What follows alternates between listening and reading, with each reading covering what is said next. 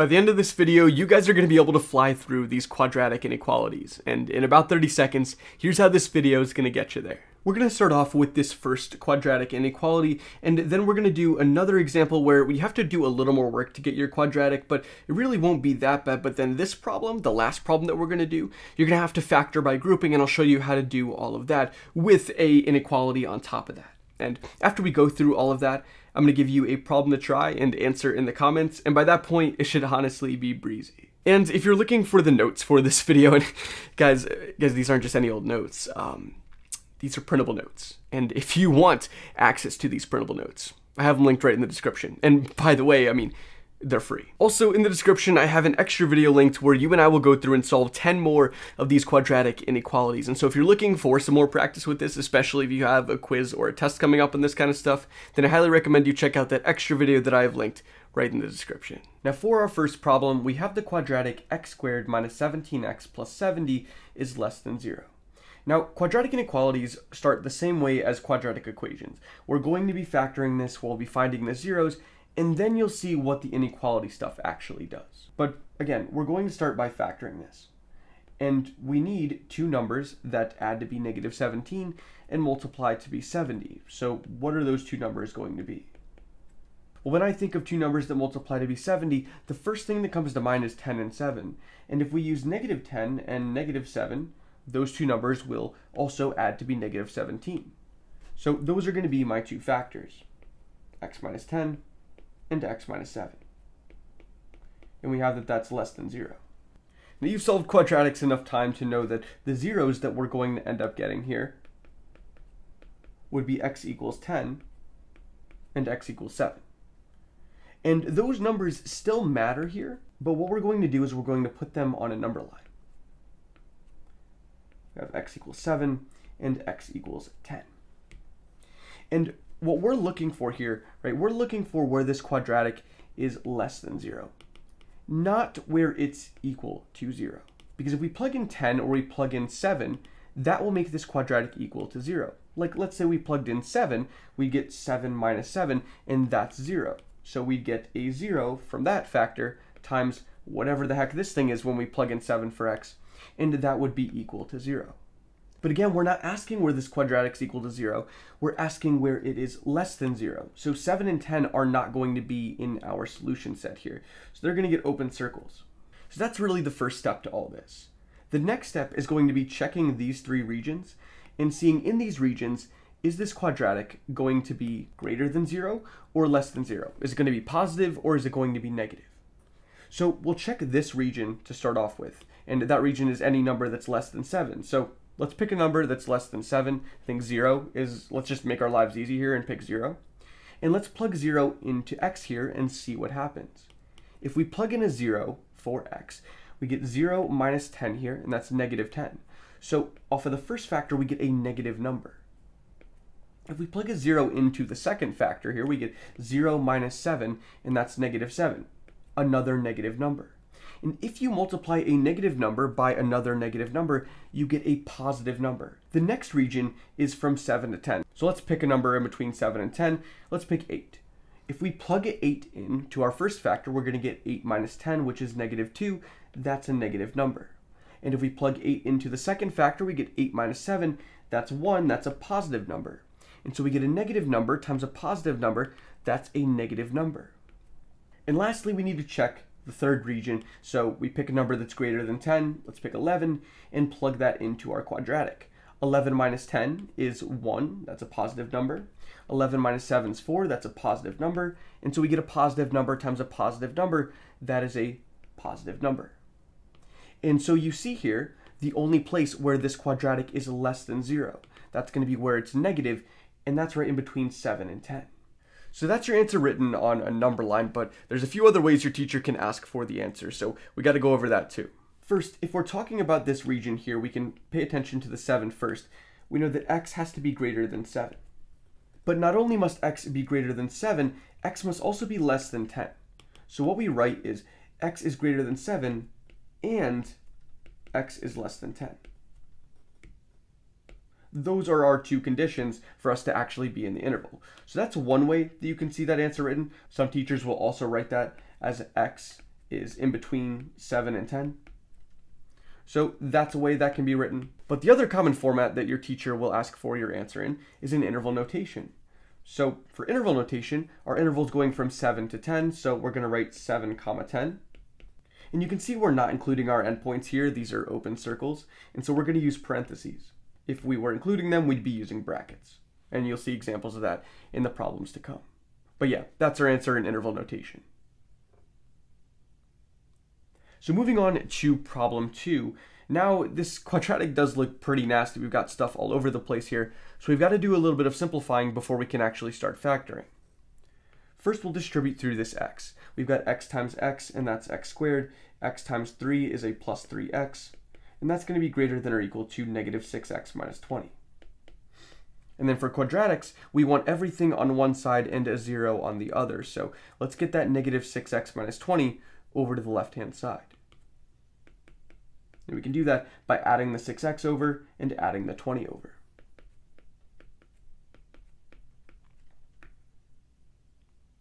So when we add the 6x and add the 20, what we're left with on the left-hand side is an x squared. We get 3x plus 6x, that's plus 9x, plus 20 is greater than or equal to 0. And now this is something that we can factor. So we want two numbers that add to be 9 and multiply to be 20. So let's write that in. And what two numbers will do that? Well, how about 4 and 5? So we can factor this as x plus 4 and x plus 5. From these two factors, you know that x is going to be equal to negative 4 and x is equal to negative 5. Those are going to be our two zeros. And so what we do with those is we put them on a number line. Because that's where our quadratic is going to be equal to 0. And on a number line, the negative 4 would go here, and negative 5 would go here. Make sure you don't switch these. Remember, 0 is over here, and so negative 4 would come first, and then it would be negative 5. So before we talk about all the three regions and the shading and stuff, we need to figure out whether we're going to put a open circle on these endpoints or a closed circle. And look at the inequality here. That will tell you all that you need to know. Here, we're looking where this quadratic is greater than 0, but we also care where it's equal to 0. It's greater than or equal to. And we know the quadratic is going to be equal to 0 at our zeros, right? That's why we call them zeros. And so negative 5 and negative 4 are included this time, and so we use closed circles. And now we can start testing points in our three regions. Looking at the first region here, that's anything less than negative 5, so let's pick a number less than negative 5, we'll go negative 6. Let's plug that in for our quadratic. In our first factor, if we plug in negative 6, we get negative 6 plus 4. That is negative 2. That's a negative number. And plugging into our second factor, we get negative 6 plus 5. That is another negative number. So we get a negative number times a negative number. That's a positive number. And now we can move on to our second region. We need a number in between negative 5 and negative 4. That's not going to be anything too nice, but I guess we can go with negative 4.5. And if we plug in negative 4.5 for x into the first factor, we get negative 4.5 plus 4. That's going to be a negative number. And plugging negative 4.5 into the second factor, we have negative 4.5 plus 5, and that's a positive number. So we get a negative number times a positive number, and that's a negative number. And then lastly, let's pick a number greater than negative 4. Let's go with 0. We get 0 plus 4 here, that's positive. 0 plus 5 is positive. And so we get positive times positive, which is positive. And so now what we're doing, we've already taken care of the equals part, but now we're looking at the greater part. Where is this quadratic going to be greater than 0? It'll be greater than zero when it is positive, right? Anything positive is greater than zero. And so we're going to shade for all these positive spots. And that's going to give us our answer on a number line. Now how else you can see your answer written is we can look at this first region here, and those are going to be all the x's, that are less than or equal to negative 5. So that's one place where x can end up. Or you could have x in the second region over here. And those are all the x's that are greater than or equal to negative 4. And so that's one way that you can write that answer. You can also write it with interval notation. This first region here is from negative infinity to negative 5. With infinities, we always use parentheses with interval notation. But with these endpoints here, negative 5 and negative 4, we are including them, and so we use brackets. So negative infinity to negative 5 and negative 4 to infinity will be our two intervals. And remember, negative 4, we use a bracket for that because we're including it. Infinity, we use a parentheses. And to say that we're talking about both of these intervals, we use a little union sign in here. And that's going to be your answer written in interval notation.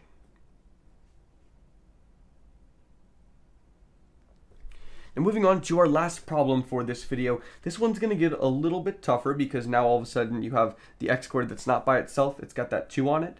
But we've got to get everything to one side and have a 0 on the other. So let's subtract 5x on both sides and add 2.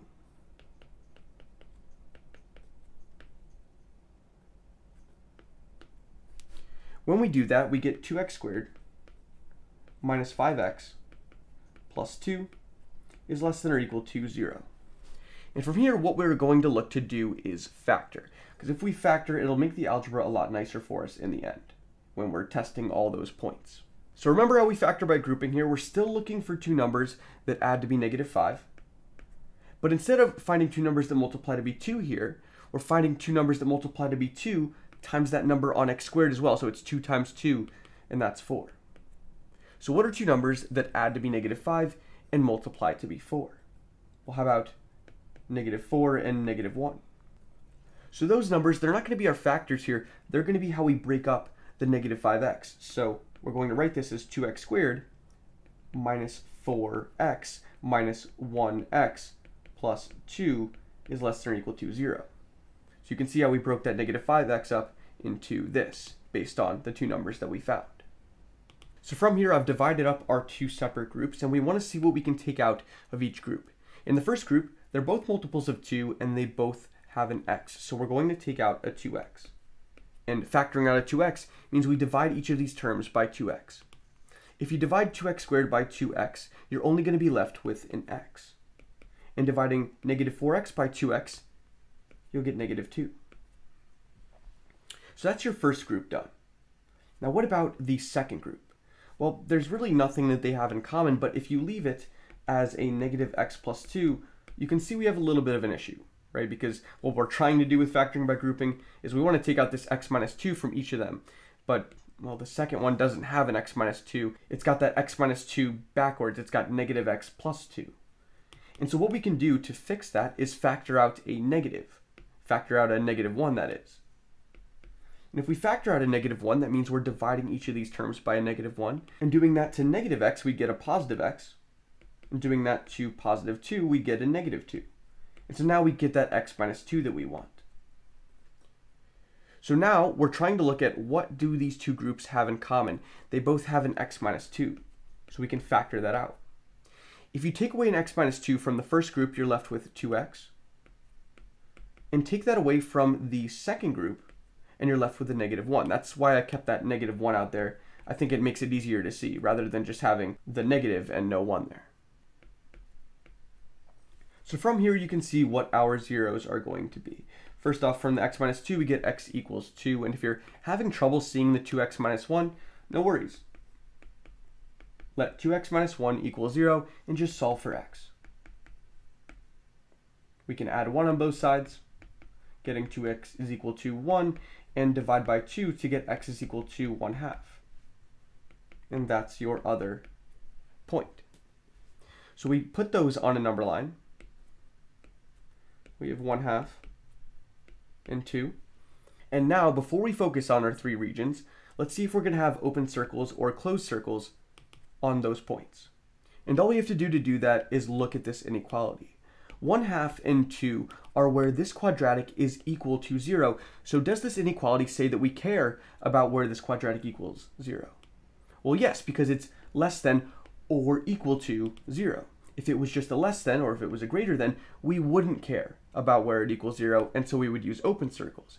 Here we care, and we use closed circles. So we've got that, and now let's focus on our three regions. We'll pick a number that's less than 1 half to start off with, and we can go with 0. Plugging a 0 in to the first factor, we get 0 minus 2. That's a negative number. Plugging a 0 into the second factor, we get 2 times 0, which is 0, minus 1, that's a negative number. So we get a negative times a negative, that is a positive. And now we move on to our second region. For our second region, what's the number in between 1 half and 2? Let's go with 1. 1 minus 2 is a negative number. And then 2 times 1 is 2, minus 1 is 1, so that's a positive number. Negative times positive is negative. And lastly, number greater than 2, we're going to go with 3. 3 minus 2, positive. 2 times 3 is 6, minus 1 is 5, that's positive. Positive times positive is a positive. So now we can look to where we're going to shade. We care about where this quadratic is, yes, equal to 0, that's what the dots were about, but we also care about where it's less than 0, and that's going to be where it's negative. So that's going to be in this region here, in between 1 half and 2. And how else we can write that answer is, well, that's going to be where x is greater than or equal to 1 half, and also the other condition is that x has to be less than or equal to 2. So that's one way we can write it. Also, we can write it in interval notation. The interval goes from 1 half to 2. And we include both endpoints, so we can use brackets. And so that's your answer in interval notation, and that is it for the last problem on quadratic inequalities. So hopefully this has got you feeling much better with quadratic inequalities, and if you're feeling pretty good with this, then here's a problem for you to try and answer in the comments. Here I have x squared plus 3x plus 2 is greater than or equal to 0. And I know you can't put a number line in the comments, so just put your answer in interval notation. And I promise this is a pretty quick problem. So try this out. Let me know what your answer is in the comments. And if you have any questions on anything we talked about in this video, again, let me know in the comments and I'll try to get back to you when I can. Now remember, I do have that extra video linked in the description where you and I will go through and solve 10 more of these quadratic inequalities. And so if you're looking for some more practice with this, especially if you have a quiz or a test coming up on this kind of stuff, then I highly recommend you check out that extra video in the description. Lastly, make sure you guys are subscribed to the YouTube channel. I mean, we're getting closer to 100K by the day. I mean, it's, it's a crazy number to think about hitting. And so I really appreciate all your guys' support so far. It really helps me just mentally getting out these videos and all that, all the thank yous you guys give me and comments and, and all that So anyways, so thank you for that. And that's going to do it for this video. So I'll see you soon.